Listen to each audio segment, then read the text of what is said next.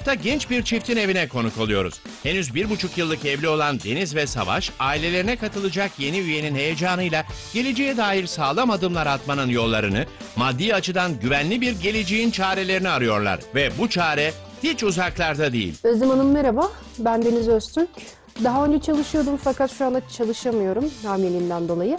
Ee, eşimle çocuk okula gidene kadar çalışmamı istemiyor. Ee, ama çocuk bütçesiyle ilgili ileride çocuğumuz olduğu zaman nasıl bir bütçe ayıracağımızı tam olarak ayırt edemiyoruz. Bir bütçe ayıramıyoruz. Bu konuda sizin yardımınıza ihtiyacımız var. Misafir olursanız çok seviniriz.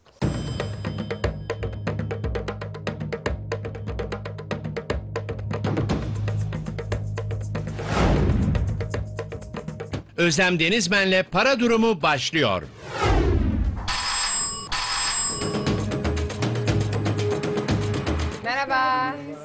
Hoş geldiniz. Savaş Bey, Evet. Deniz Hanım. Evet. Doğru değil mi? Hoş geldiniz. Hoş geldiniz. Bebişe de merhaba diyelim mi? o da size merhaba diyor. evet, çağırdınız, geldim. Hoş geldiniz. Hoş geldiniz. Biraz heyecan var galiba. Of. Tarif edilemeyecek tarzda. Yeni bir döneme giriyorsunuz. Şöyle bebişe merhaba değil mi buradan? Kaç, altı buçuk aylık mı? Altı buçuk aylık yedinci aya girdik hatta. Allah tamamına erdirsin. Çok teşekkür ederim. Ee, geçen e, sene 1.1 milyon yeni bebek dünyaya gelmiş Maşallah. Türkiye'de. Evet, yeni bebek dünyaya gelince tabii yeni bütçeler oluyor. Bugün bunu konuşacağız. Yeni bebek bütçesini konuşacağız sizinle. Değil mi? Şimdi birkaç kuralımız var. Önce onu söylemek istiyorum. Bir, samimiyet. Hı hı. Birbirinize karşı samimi misiniz para konularında? Tabii ki. Ne kadarlık evlisiniz? Bir buçuk yıl oldu. Hiç kavga ettiniz mi para konusunda? Para konusunda çok ciddi bir kavgamız olmadı ama anlaşamadığımız birkaç konu oldu sadece. Öyle mi? Hangi konular var? Ee, bütçe konusunda ben biraz daha ilaçım ama eşim çok sıkıdır. Ha. Yani cimri mi? Çok cimridir. Cimri değilim. Öyle dememek lazım. Sadece Yani tutumlu musun? tabii ki. Evet. İkincisi utanmak yok, suçlamak yok. Para bazen oluyor, bazen olmuyor. Hiçbirimizin utanacak hiçbir şey yok. Suçluya suçluya da bir yere gelemiyoruz. Üçüncüsü de önce insan, önce bebeğimiz, Önce bebeğim. önce önce insani değerlerimiz ve ondan sonra koyuyoruz e, parayı.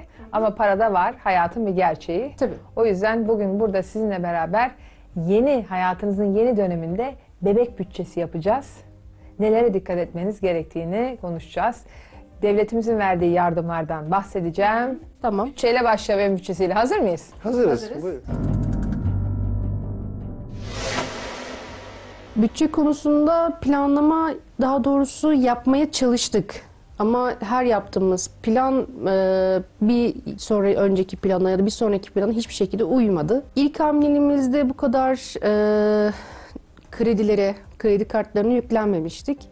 Yani bu ikinci hamileliğim sırasında bayağı bir kredi kartları, kredileri yüklendiğimiz için planlar hiçbir şekilde uymadı. Bütçe tahtamızın önündeyiz. Öztürk çiftinin aylık 1200 liralık kısıtlı diyebileceğimiz bir geliri var. Deniz hamileliği dolayısıyla çalışmayı bıraktığı için ailenin geçim yükü kamyon şoförlüğü yapan Savaş'ın omuzlarında. Tabii şimdilik. Önce birikim diyoruz. Birikime para ayırabiliyor musunuz? Hayır. Maalesef. Peki bunu değiştireceğiz ama. Buradan bir yerden ben size bir 50-100 lira tasarruf yaptıracağım. Ve buraya geçeceğim. Çünkü bebiş geldiği zaman, çocuk geldiği zaman onun için para harcamak gerekecek. Kesinlikle. Kira, ev kredisi. Ev kayınpederimin. Kayınvalidemle oturuyorum. Ee, kaynımla oturuyorum. Bir de ikimiz varız. Kayınpederim şu anda burada yurt dışında çalışıyor. Şimdi gıdaya ne kadar gidiyor? Aylık 400 lira. 400 lira. Hemen oradan alalım 400 lirayı. Siz buraya koyarsanız 400 lira. Hiç dışarıda yemek yiyor musunuz? Henüz öyle bir gayretimiz olmadı. Dışarıda yemek yemiyorsunuz. Keyif. Nasıl yemek yapmaya e, yardım ediyor mu? Eşim mi? Evet. Ee, yapmaya değil de hazırlarken hamile olduktan sonra yardım ediyor. Çok güzel. 10 numara. Evet faturalar, telefon faturası, su faturası, elektrik faturası, doğalgaz faturası. Doğalgaz yok sizde. Yok. Soba var. Evet. Kömür, odun, o tarz. 400 lira masrafımız oluyor. 400 lira toplam. Kömüre ne kadar harcıyorsunuz? Kömüre aylık 100 lira, 110 lira gibi taksitlerimiz var. Taksitle alıyoruz. Yıla yayarak bunu. Yıla yayıyorsunuz. Ha, yazın da kömür parası ödüyorsunuz. Tabii ki. Peki ulaşım koyalım buraya 400 lirayı. Ulaşım, ulaşıma ne kadar harcıyorsunuz? Ulaşıma para harcamıyoruz. Harcamıyorsunuz. Yürüyerek mi gidiyorsunuz işe ne oluyor? İşe servis olanağım var. Tamam. Onunla birlikte gidiyoruz. Sıfır. Deniz gezmiyor musun bir yerlere? Yok, gezme şansımız olmuyor pek fazla. Peki tamam ulaşım sıfır. evet. Peki sağlık, eğitim, Eğitim, eğitim değil herhalde. sağlık. Ama hamilelik Evet, hastaneye gidiyor eşim. Onun sağlık giderleri oluyor. Hastanelere ödenen e, paralar. Sonra oraya gittiği zaman gitmeden önce aç yemek yemeden gidiyor. Testleri yaptırıyor. Ondan sonra yemek yemesi gerekiyor. Onlar da var. Onlarla birlikte aylık 200 lira giderimiz oluyor sağlık için. Evet. Hamileliğinden dolayı. ha, kan testlerine falan gidiyor. Evet. E, yanında evden götür bir şeyler. Bu, bu bunu güzel yapmayı- hesaplamışsınız. Yapmaya çalışıyorum onu. Ee, bazen sabah erken olduğu için Canın çekiyor falan şimdi hamilesin. Peki dokunmayalım. Dokunmayalım. Ne kadar? Aylık 200 lira. 200 lira sağlığa gidiyor. Peki kişisel bakım, giyim kişisel bakım giyim hmm, herhangi bir giderimiz olmuyor. ona. hiç. Hiç olmuyor. Yani sene boyunca hiçbir şey almadınız mı? En son kıyafet ne zaman aldınız? En son kıyafeti e, ne zaman aldık? Geçen sene aldık. Biz normalde E hamilelik kıyafetleri falan yani bir iki tane onlar da hediye olarak geldi. arkadaşlardan. Tabii tabii ablamdan, Oh ne arkadaşlardan. güzel. Sıfır. Hiçbir şey yok. Yok. Yok. Peki. Peki. Devam ediyoruz. Tatil, eğlence, kültür. Sinemaya gittiniz. Tiyatroya gittiniz. Keşke gidebilsek. Öyle bir şeyimiz olmadı. sinema iki defa gidebildik. Onlar da arkadaşlarla beraber gittik. E, hediye edildi bize. E, tatil, eğlence, Ama gençsiniz daha yeni evlisiniz. işte bütçemizi ayarlamaya çalışıyoruz. Yine gitmiyor, yetmiyor. Peki ne diyelim buna? Sıfır. Peki. Ev eşyası. Evet, ev eşyası aldık. Buzdolabı. Eviniz tertemiz. Çok güzel. Ama aynı zamanda eşyalar da çok güzel. Evet. Yeni mi alıyorsunuz eşyaları? Yok, eşyalarımızı e, yeni almıyoruz ama e, tabii ki beyaz eşyalar da yeni aldık. Yine. Peki ne kadar bu aylık? Aylık 200 lira taksidim var. 200 lira. Evet. Evet. Peki 200 lira yazıyorum buraya. Tahtamızdan da çok açık anlaşılacağı üzere Deniz ve Savaş bütçelerinde gerekli kısıtlamaları yapmış ve zaruri olanlara pay bırakmışlar. Eşya taksitlerinin bitmesiyle birikim içinde bir pay ayırabilirler gibi görünüyor. Yine de biz değerlendirme için sözü işin uzmanına Özlem Denizmen'e bırakalım. Gelire bakarsak 1200 lira. Bugün için ben buna iyi diyorum. 26-27 yaşındasınız, hayatınızın başındasınız ama bebek geliyor. İleriye dönük masraflar artacak. Dolayısıyla bugün için iyi ama yarın için artmasını istiyoruz. Burada da kariyerini elden bırakmıyorsun. İleriye dönük olarak yapabileceğin çok şey var. Peki birikime sizin yaşlardan başlaması lazım birikimin. Bir yerden oradan kısacağız ve size getireceğim birikimi. Ev kirası kredisi bu yok. Gayet güzel. Kendi eviniz var ama ileride bu sonuçta babanın evi. İleride kendi evini bu birikim yaptığınız sürece kendi evinizi almak üzere para da biriktirmeye başlayabilirsiniz. Gıda iyi. Gıdadan kesmiyoruz. Üç can var evde. Faturalar. Faturalardan biraz azaltabiliriz. Neden? Nereden azaltacağız? Burada bir aslında Telefon faturalarından kesebiliriz. Ne kadar gelecek telefonu? Yani 25 bana geliyor, 118 eşime geliyor. 118 mi? Nereyle konuşuyorsun bu kadar? aslında o kadar çok konuşmuşum yok da hediye Ne olsun oldu diye birileri mi konuşuyor? Telefon aldı bana. telefon almıştım taahhüt Hediye üzerinden. olsun diye telefon aldı. Sevgili eşine, biricik eşine. Peki güzel ama bu faturaları biraz Bir, bir düşürebiliriz. sene sonra düşecek. Sonra 25 liraya Peki. düşürebilirim diye düşünüyorum. Ulaşım gayet iyi. Her yere yürüyorsunuz. Sağlıklısınız. Sağlık eğitim bu da gayet iyi. Buradan kesemeyiz. Çünkü zaten bebek geliyor. Bütçe kısıtlı. Yolda bir de bebek var ama yine de kendileri için biraz vakit ayırsalar hiç de fena olmayacak. Henüz çok gençler ve çocukla beraber bunlara vakit ayırmak haliyle daha zor olacak. Ben hemen size bütçe defteri vereceğim. Şöyle bir harcama defteri. Simit alsanız bile buraya yazıyorsunuz. Tamam. Çünkü para nereye gitti dediğimiz zaman 1 lira, 2 lira, 3 lira hesabını bilmeyince gidiveriyor. Bu da bütçe defteri. Ayda bir oturuyorsunuz karı koca. Aynen bu yaptığımız var içerisinde ve ay ve ay nereye ne harcadığınızı önceki bir önceki aydan kurşun kalemle belirliyorsunuz. Ondan sonra analiz yapıyorsunuz. Ne dedik, ne harcadık diye. Anlaştık mı? Anlaştık. Harcama defteri, bütçe defteri. Şimdi harcama defterini kime vereyim ben? Harcama defterini eşime verin. Eş... Neden? Hep böyle kadınlar daha çok harcıyor gibi söylüyorsunuz. Bütçe defterini kime vereyim? İkinize ortak. Evlilik cüzdanını kim aldı evlenirken? Eşim O, o zaman buraya veriyorum. buraya veriyorum. Peki anlaştık değil mi? Anlaştık. Çok güzel. Şimdi bakalım kredilerle aramız nasıl? Kredi notumuza bakalım. İleride çocuklarımıza bırakabileceğimiz bir mülk ya da bir şeyin olmasını çok istiyoruz. Onun için ilk hedefimiz en azından bir ev sahibi olmayı çok istiyoruz. Ben şu an e, babamın evinde kalıyorum. Bu kaldığım dönemde e, yarın bir şeyler çıktığında e, dışarı gitmek zorunda kalırız. Ve ben çocuğum için bu durumları ben yaşadığım için istemiyorum. Ve öncelikle bir ev alma telaşı içerisinde olacağımızı düşünüyorum. Deniz ve Savaş'ın en büyük hayali doğacak bebekleriyle yaşayacakları yeni bir ev almak. Bu konuda en büyük desteği ise krediler sayesinde alacaklarına hiç şüphe yok. Bakalım kredi notları ne durumda? Kredi kartlarıyla aranız nasıl? Üç tane kredi kartım var. Benim yok. Yok, üç tane var. Nasıl düzenli zamanında ödüyor musunuz? Mümkün olduğu e, sürede ödemeye çalışıyorum.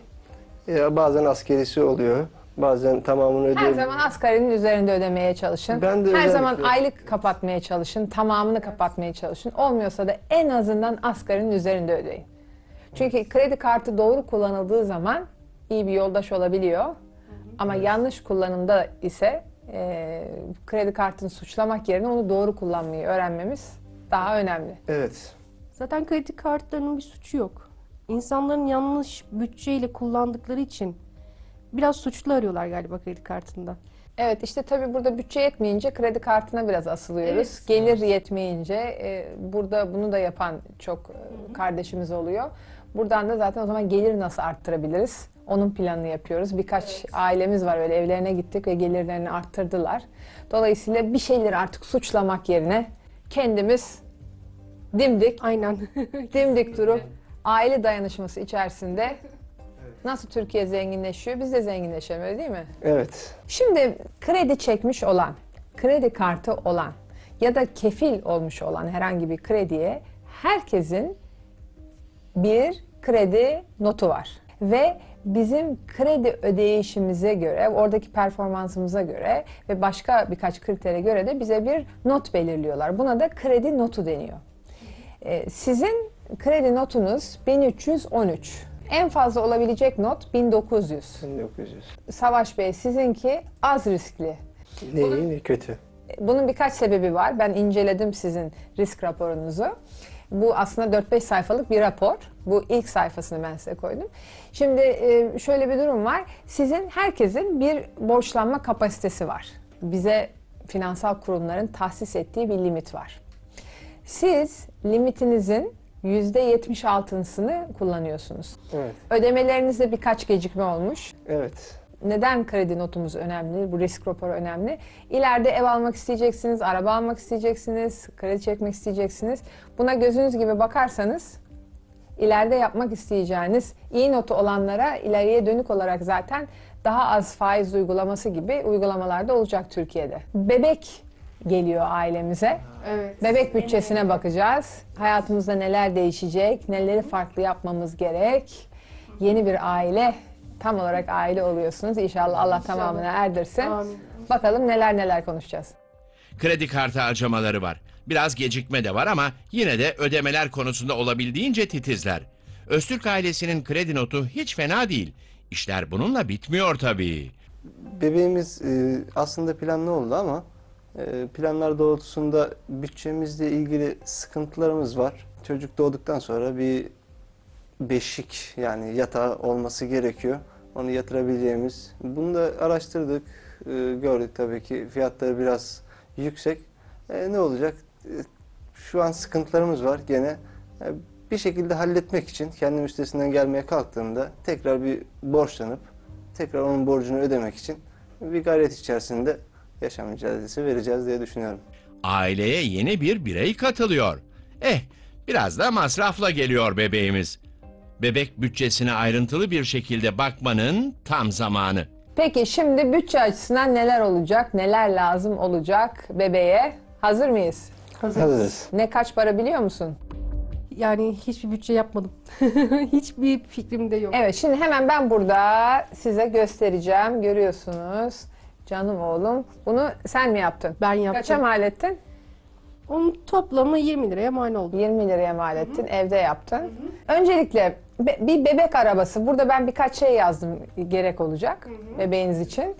Bebek arabası şimdi her alacağınız şeyi birinci el yepyeni alabilirsiniz. Tabii insan çocuğu için bir özeniyor. Ee, çocuk geliyor. Her şeyin en güzeli olsun. Dur. Unutmayın. Çocuğun hiçbir şeyden haberi yok. O ınga agu filan derken ne bindiği arabayı biliyor, ne odasını biliyor. O yüzden aman çocuğum güzel olsun, e, çocuğuma en iyisi olsun diye çok para harcamayalım. Şimdi bebek arabası birinci el alırsak 450 lira civarında. Para durumu ekibi arkadaşlar sizin için araştırma yaptılar. İkinci el 100 lira. Ama bir de arkadaşınızın eli var ki daha önceden çocuğu olmuş 0 lira. Evet, her anne baba özellikle de yeni doğacak çocuğu için her şeyin en iyisini, en güzelini ister ama biraz tasarruf fikrini ve bebek ihtiyaçları edinmek için kimi alternatif yöntemleri de yabana atmamak gerek. Bu yöntemlerin ne olduğunu öğrenmek için Özlem Denizmen'e kulak verelim. Evet hepsini topladığımız zaman tam 1220 lira ediyor. 1220 lira. İkinci elde toplarsak 450 lira ediyor. Paylaşım ekonomisini maksimumda kullanırsanız da 0 lira ediyor. Onun dışında bir şey alırsanız da birinci el aman internetten fiyat araştırmasını çok iyi yapın. Kesinlikle. Kesinlikle. Takas siteleri var internette araştırabilirsiniz. Kadın siteleri var. Artık bütün bunlar hayatımızda çok normal bir hal aldı. Ee, Yeni dünyada artık biliyorsunuz kapitalizm bu haliyle bir yere kadar. O yüzden insanların olabildiğince özellikle paylaşılabilen şeyleri paylaşması yeni trend dünyada. Evet. Amerika'dan, Paris'ten, Çin'den her yere kadar. Dolayısıyla özellikle çocuk konusunda kıyafetleri olabilir, alacağınız eşyalar olabilir. Bunu bizim anne babalarımız, anneannelerimiz, dedelerimiz çok yaptılar, babaannelerimiz. Ben de çocuklarımı, iki çocuğum büyütürken çok yaptım. Şimdi para durumu ekibi olarak Soner Bey'le kontak kurduk. Kendisiyle görüştük. Paylaşım konusunda sizi bekliyor ekiple. Bakalım neler verecek çocuğuyla ilgili olarak kullanmış oldu.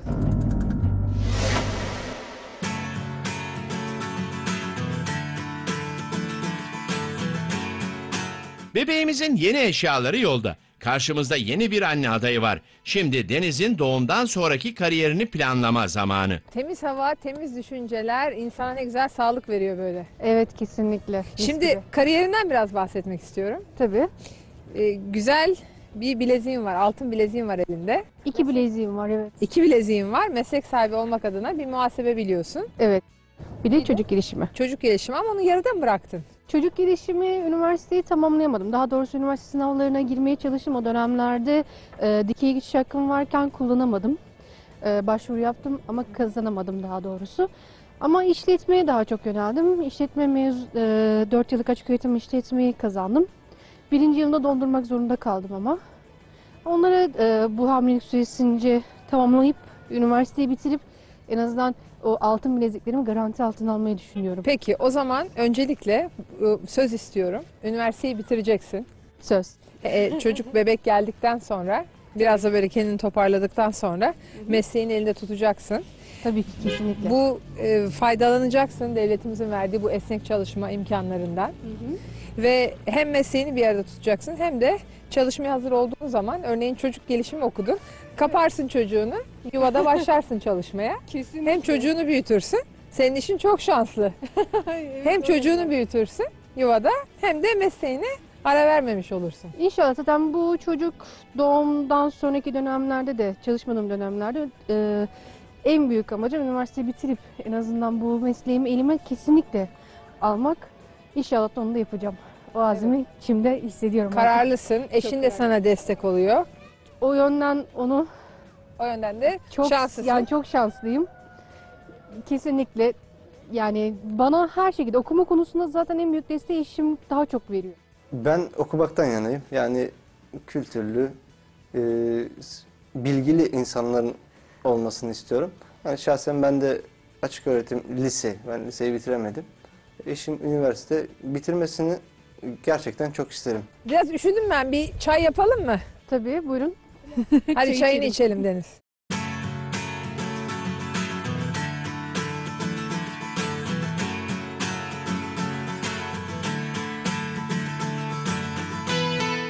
Caner şu anda e, 16 aylık. E, bu zamana kadar biz e, Caner'in eşyalarını benim kuzenimin oğluyla paylaşıyorduk eşyalarını. E, Caner şu anda büyüdü ve eşyalarını e, Savaş kardeşimin Efe Umut oğluyla paylaşacağız.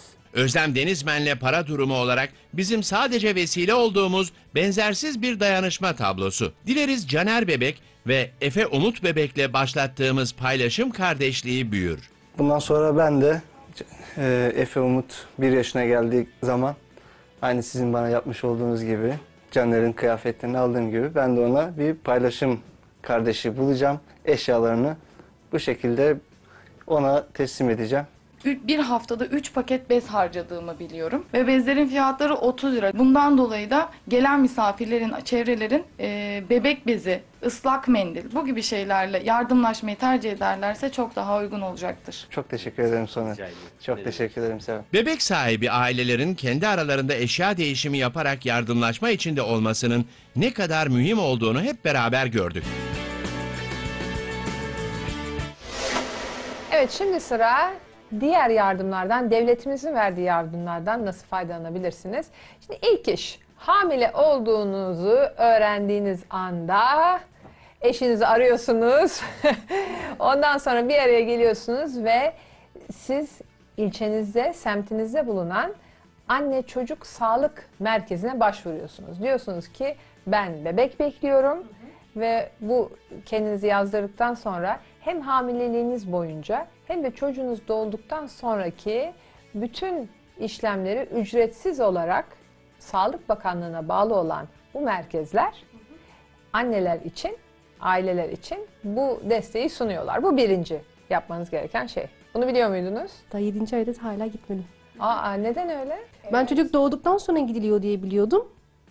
Yani çocuk doğ yani olduğunu öğrendiğimde gidip kayıt yaptıracağımı bilmiyordum Evet. açıkçası. Aman buradan o zaman seslenelim. Tüm Türkiye'ye, tüm bebek bekleyen aileler hemen gidip ilçenizdeki ücretsiz olarak size bakım verecek Sağlık Bakanlığı'na bağlı aile planlama sağlık merkezlerine başvurun. Bu bir.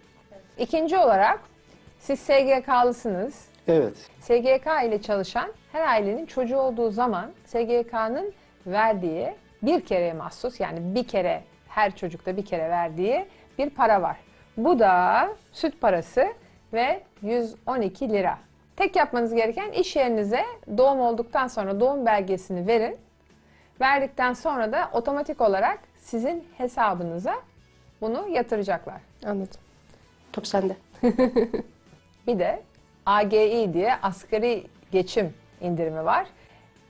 Çocuğunuz olduğu zaman, ilk çocuğunuz olduğu zaman 121 lira SGK sizin bordronuza her ay 121 lira para ödenecek. Yani ilk ayda kaç para alacaksınız? 112 lira süt parası, 121 lira da SGK asgari geçim indirimi AGI.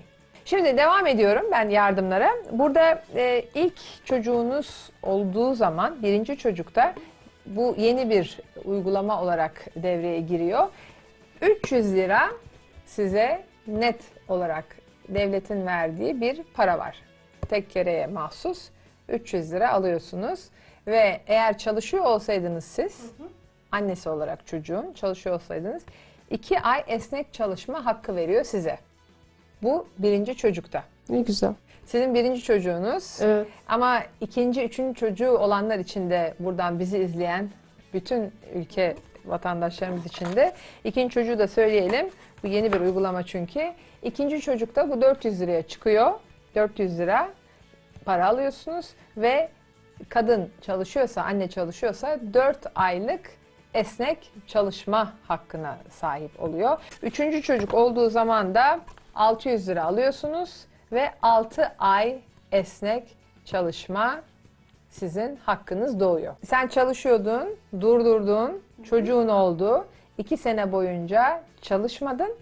iki sene boyunca çalışmadığın SGK ödemelerini sonradan SGK'ya borçlanarak yapabiliyorsun. Evet, e, baba adayları da 5 gün boyunca, eskiden 3 gündü ama 5 gün boyunca izin hakkınız var. Yani bir hafta siz işe gitmiyorsunuz çocuğunuz olduğu zaman. Çok güzel. Eskiden 3 gündü. Eskiden 3 gündü, şimdi 5 gün oldu.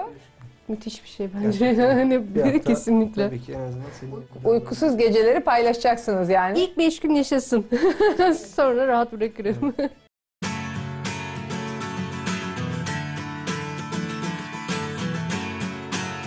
Özlem Denizmen'le para durumu her ihtiyaç olduğunda rehberlik etmeye, çözüm bulmaya devam ediyor. Efe Umut bebeği ise güvenli, parlak bir gelecek bekliyor. Evet, bugün Savaş Bey ve Deniz Hanım'la bebek bütçesini konuştuk. Neler neler dedik. Aman bütün belediyenin, devletin yardımlarından maksimumda faydalanalım. Yerde para bırakmayalım. Bize tahsis edilmiş haklarımız varsa bunları bilelim, öğrenelim ve uygulayalım. Takas ekonomisinden, paylaşım ekonomisinden bahsettik. Biliyorsunuz bebekler doğduğu zaman hiçbir şeyin farkında değiller.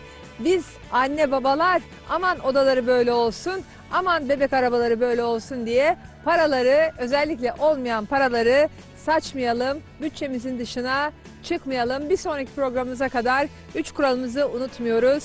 Samimiyet, utanmak yok, suçlamak yok. Önce insan, sonra para diyoruz ve hiçbir para konusu yok ki çözümsüz değildir. Bir sonraki programa kadar görüşmek üzere.